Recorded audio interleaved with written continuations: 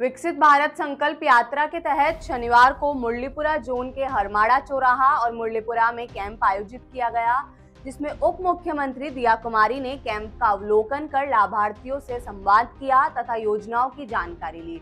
उप मुख्यमंत्री दिया कुमारी ने बताया कि भारत सरकार की योजनाओं का बेहतर क्रियान्वयन, योजनाओं का लाभ पात्र लाभार्थियों तक पहुँचाने योजनाओं की जानकारी जन जन तक पहुँचाने और योजनाओं के निर्धारित लक्ष्य प्राप्ति के लिए विकसित भारत संकल्प यात्रा आयोजित की जा रही है।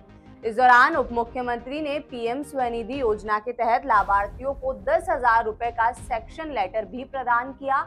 इसके साथ ही उन्होंने प्रधानमंत्री उज्जवल योजना के तहत महिला लाभार्थियों को गैस चूल्हा किट भी प्रदान किया। शिविर में दिया कुमारी ने हमारा संकल्प विकसित भारत की शपथ भी दिलाई। उन्होंने कहा कि अंतिम पात्र व्यक्ति तक योजनाओं का लाभ पहुँचे, ये हम सभी का प्रयास होना चाहिए। विकसित भारत संकल्प यात्रा का उद्देश्य शत प्रतिशत लोगों तक लाभ पहुंचाना है।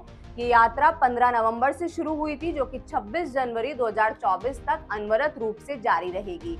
इस दौरान मिशन मोड पर कार्य कर वंचित पात्र व्यक्ति तक योजनाओं का लाभ पहुँचाया जाएगा। साल का ये जो सपना है, ये पाँच साल का सपना नहीं है, पच्चीस साल का सपना है, पच्चीस साल का लक्ष्य है।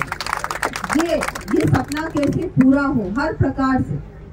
इसके लिए बहुत ज़रूरी है कि योजना के माध्यम से हर व्यक्ति को लाभ मिले, उसको कैसे आर्थिक रूप से आगे बढ़ा सकते हैं। जब तक हमारे आर्थिक रूप से व्यक्ति आगे नहीं बढ़ेगा। उसकी कमाई अच्छी नहीं होगी। उसका जीवन और ज़्यादा सुलभ नहीं होगा। तब तक हम विकसित राष्ट्र नहीं बन सकते।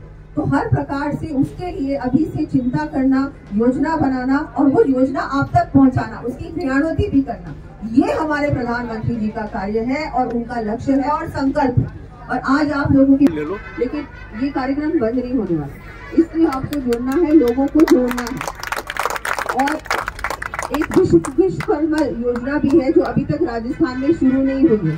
भारत को दो तक भारत को दो हज़ार सैतालीस तक आत्मनिर्भर और विकसित आत्मनिर्भर और विकसित को साकार करेंगे।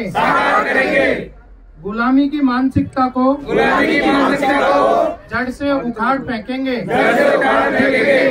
देश की समृद्ध विरासत पर देश की समृद्ध विरासत पर गर्व करेंगे। सुदृढ़ करेंगे। सुदृढ़ करेंगे। और देश देश की रक्षा करने वालों का देश की रक्षा करने वालों का सम्मान करेंगे। सम्मान करेंगे। नागरिक होने का नागरिक होने का कर्तव्य निभाएँगे। कर्तव्य निभाएँगे। भारत माता की जय।